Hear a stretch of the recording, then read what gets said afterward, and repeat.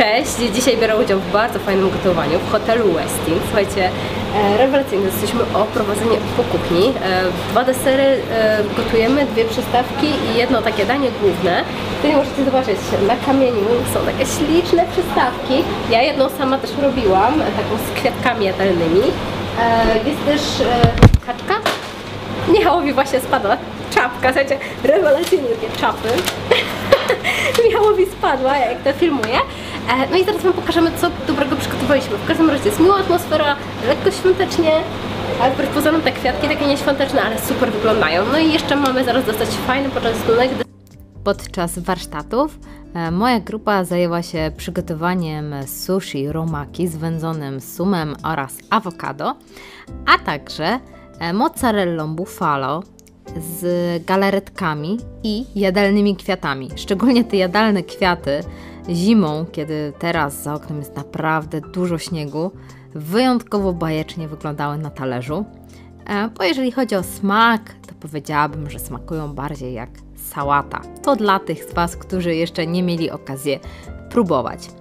Poza tym podczas warsztatów e, przygotowywaliśmy e, pierś kaczki w ziołach z młodymi warzywami.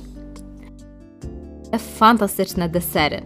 Ricotte z ciastem filo i e, sferycznym kawiorem, a także przepyszny, rewelacyjny, lekki mus z czekolady z pudrem gianduja, a także krem pistacjowy z dodatkiem e, takiego też mrożonego sorbetu z cytrusów i na wierzchu na to była e, zapieczona taka lekka beza.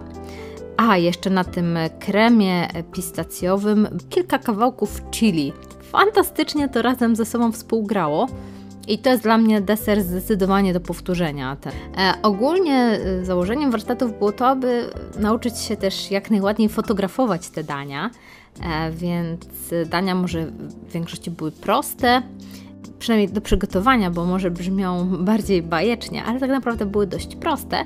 E, Za to potem e, skupialiśmy się na ich fotografowaniu. No i oczywiście też e, kucharze z Westinu zaskoczyli nas fantastycznymi smakołykami przygotowanymi przez siebie.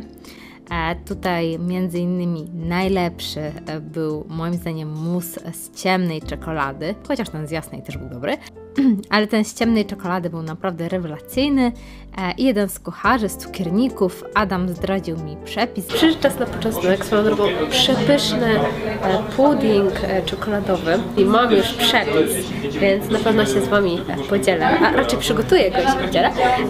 A tutaj, słuchajcie, jest jeszcze bardzo ciekawa rzecz. To jest taki puder, to jest, nie wiem czy będzie widać, gianduja, bardzo fajny puder o smaku orzechu i czekolady, włoski, z Włoch, we Włoszech można go kupić.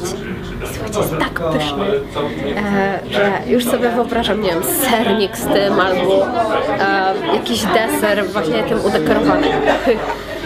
No, no to taka, taka relacja. Ja idę jeść e, pudding. Czas minął bardzo szybko, bardzo miło. Uwielbiam takie spotkania. Jest to zawsze garść nowych inspiracji. E, Zachęcam Was do przeczytania również relacji w formie tekstowej, gdzie będą też zdjęcia e, właśnie z warsztatów. Pozdrawiam Was ciepło i do zobaczenia w kolejnym odcinku.